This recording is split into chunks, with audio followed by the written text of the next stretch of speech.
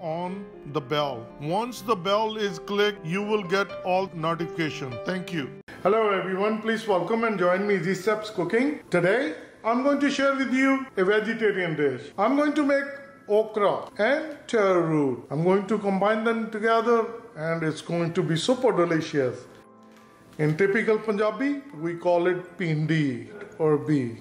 I'm going to wash it, then I'm going to pat it dry, then I'm going to cut into thin slices. Same thing with arbi, going to peel it, wash it, cut into thin slices. One onion, two teaspoon ginger, garlic, green chili paste. All the spices is 1 teaspoon each. Coriander powder, garam masala, cumin seed, salt, cumin powder, turmeric powder and dry pomegranate seed, anardana. You can use mango powder or you can use lemon juice. This will reduce the slamminess of okra and arbi. For tadka, olive oil and to garnish cilantro.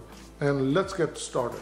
After washing it, pat it dry and I cut into thin slices. Arbi is also cut into long thin slices. Let's start making our delicious pindi arbi di sabji.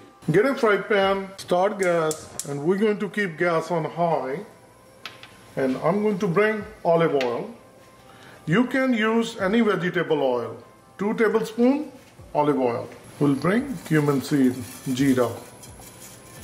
We're going to give like a 10 seconds. This is good enough. Ginger, garlic, and green chili paste. I'll start my pan.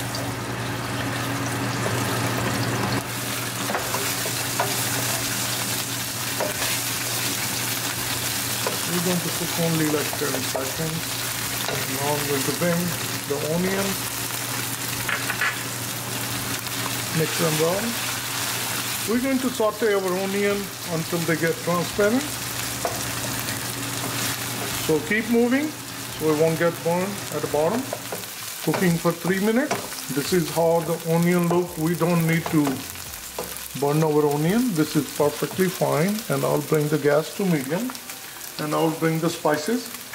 coriander powder, garam masala, cumin powder, turmeric powder, salt. And we're going to mix them around. We're going to cook our masala along with tadka for 30 seconds. This is good enough. Now I'm going to bring our arbi.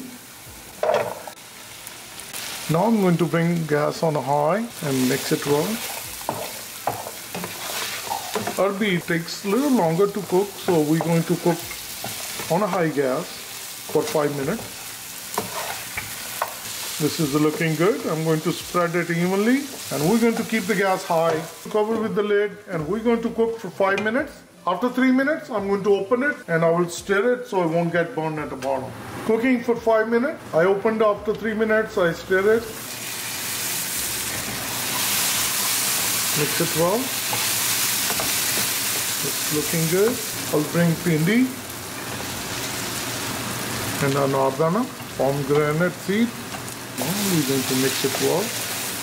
I'll bring gas to medium to make sure that it's nicely combined with arbi. Once it's nicely combined, we're going to spread it evenly. And we're going to cover the lid and we're going to cook it for 5 minutes on medium gas. On medium gas, cooking for 5 minutes.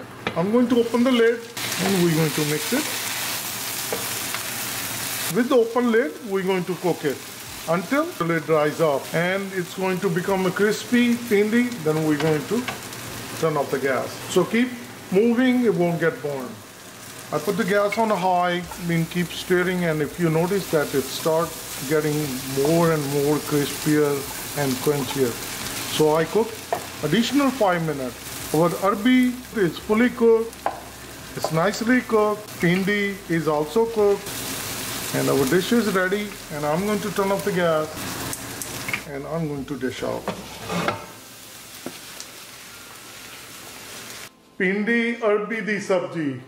Okra taro root is all ready and it's a super tasty and super delicious. Please comment below how you like it. If you like this dish, like always, like, share and subscribe Easy Step Cooking. Thank you and have a good day. Bye-bye.